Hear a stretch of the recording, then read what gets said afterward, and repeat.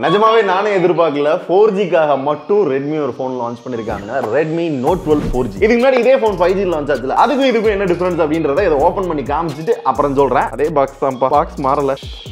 Case paper சிமஜெக்டர் ஆகா நல்ல ஜிகினா அப்பன மாதிரி பல பல பல பலன் இருக்கு. ஆண்டியா அதே வெயிட்டோட போனும் பார்க்க அதே மாதிரி இருக்கா? வேறு thirty three watt charger type C cable இதுவும் அதே தான். ரைட் இதான்பா ரெட்மி நோட்டோட ஃபோர் ஜி வேரியன்ட் இந்த டுவெல் சி லான்ச் பண்ணாங்கல்ல அது கூடவே தான் இந்த ஃபோன் லான்ச் பண்ணாங்க. டுவெல் சி வீடியோ பாத்தீங்களா பார்க்கலாம் இப்போ தான் போட்டிருக்கோம். செக் பண்ணிக்கோங்க. இப்போ இந்த ஃபைவ் ஜி வேரியண்ட்டுக்கும் ஃபோர் ஜி வேரியண்ட்டுக்கும் அப்படி என்னதான் டிஃபரன்ஸ் அப்படின்னு கேட்டிங்கன்னா பெருசா எதுவும் இல்ல. இதை தவிர ஃபைவ் ஜி வேரியண்ட்ல snapdragon four gen one வந்து யூஸ் பண்ணிருப்பாங்க. இங்க snapdragon six eighty five use பண்ணிருக்காங்க. Six ninety okay ninety five okay eighty கூட ஓகே இது என்ன எயிட்டி ஃபைவ் அப்படின்னு கேட்டிங்கன்னா புது ப்ராசரா ஃபர்ஸ்ட் டைம் வந்து இந்த ஃபோன்ல யூஸ் பண்றாங்க. எனக்குமே வேற எந்த ஃபோன்லயுமே யூஸ் பண்ண மாதிரி தெரியல. இந்த ப்ராசஸரை பத்தி சிம்பிளா சொல்லணும் அப்படின்னா ஸ்னாப் டிராகன் சிக்ஸ் எயிட்டி இருக்குல்ல அதுல வந்து கொஞ்சம் ஓவர் கிளாக் பண்ண ப்ராசஸர் அப்புறம் வெயிட் கொஞ்சம் கம்மி பண்ணிருக்காங்க.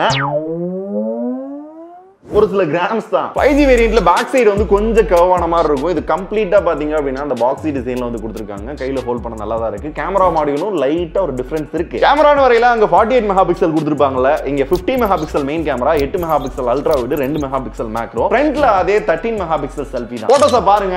இப்போதைக்கு ஃபர்ஸ்ட் இம்ப்ரெஷன் பாத்தீங்கன்னா எப்படி இருக்குன்றத நீங்களும் சொல்லுங்க. நாங்க பார்த்த வர பாத்தீங்க அப்படின்னா ஓகே குட் மிச்சபடி எல்லாமே அதே டிஸ்பிளே அதே ப்ரொடெக்ஷன் அதே பேட்டரி அதே ஃபாஸ்ட் சார்ஜர் செல்ஃபி கேமரா முதற்கொண்டு அதே தான் டிசைனும் லுக் எல்லாம் பாக்குறதுமே கிட்டத்தட்ட அதே மாதிரி இருக்கும். ஃபீச்சர்ஸ் முதற்கொண்டு ஈவன் ஐஆர் பிளாஸ்டர் முதற்கொண்டு பாத்தீங்கன்னா அதே தான் உங்களுக்கு இன்னும் புரியல அப்படின்னா இது ஃபோர் ஜி வேரியண்டோட ஸ்பெக் இது ஃபைவ் ஜி வேரியண்டோட ஸ்பெக் எந்த அளவுக்கு டிஃபரன்ஷியேட் இருக்கு அப்படின்றத நீங்களும் பார்த்து தெரிஞ்சுக்கோங்கப்பா. இப்போ உங்களை மாதிரியே எனக்குமே என்ன டவுட் அப்படின்னா ஏர்டெல்ல ஃபைவ் ஜி வந்துருச்சு ஜியோலையும் ஃபைவ் ஜி வந்துருச்சு. எல்லாரும் ஃபைவ் ஜி ஃபோன் லான்ச் பண்ணிட்டு இருக்காங்க. ஈவன் லாவா கூட பத்தாயிரம் ரூபாய் பதினஞ்சாயிரம் ரூபாய்க்கு வந்து ஃபைவ் ஜி ஃபோன் லான்ச் பண்ணிட்டு இருக்காங்க இப்படி எல்லாம் இருக்கிறப்ப இவங்க ஃபைவ் ஜி ஃபோன் இருக்கு. இப்போ ஏன் ஃபோர் ஜி ஃபோன்ல ஃபோக்கஸ் பண்றாங்க அப்படின்றத தெரியல. கேட்டோம்னா இப்போ மக்கள் ஃபோர் ஜி தான் யூஸ் பண்றாங்க. ஃபைவ் ஜி எல்லாம் ஃபுல் ஃபிளஜ் ஆகிறதுக்கு ரெண்டு மூணு வருஷம் ஆகும்பா அப்படிம்பாங்க. இதே ஃபைவ் ஜில ஒரு ஃபோன் லான்ச் பண்றாங்க அப்படின்னா ஃபியூச்சர் இஸ் ஹியர் ஃபைவ் ஜில ஒரு ஃபோன் லான்ச் பண்றோம் அப்படின்ற மாதிரி லான்ச் பண்றாங்க. இப்போ எனக்கு என்ன தோணுது அப்படின்னா நான் ஒரே குழப்பத்துல வாழ்ந்துட்டு இருக்கிற மதர் அப்படிதானே உங்களுக்கு இருக்கு. ஏன்னா எதை சூஸ் பண்றதுனே தெரியல. ரெட்மி நோட்டல் ஃபோர் ஜின்னு ஒரு ஃபோன் இருக்கு. ரெட்மி நோட்டல் ஃபைவ் ஜின்னு இருக்கு. இதே பேரை மாத்தி என்ன பண்ணுவாங்க அப்படின்னா போக்கோல இன்னொரு ஃபோன் லான்ச் பண்ணுவாங்க. எல்லாமே பாத்தீங்க அப்படின்னா குழம்பி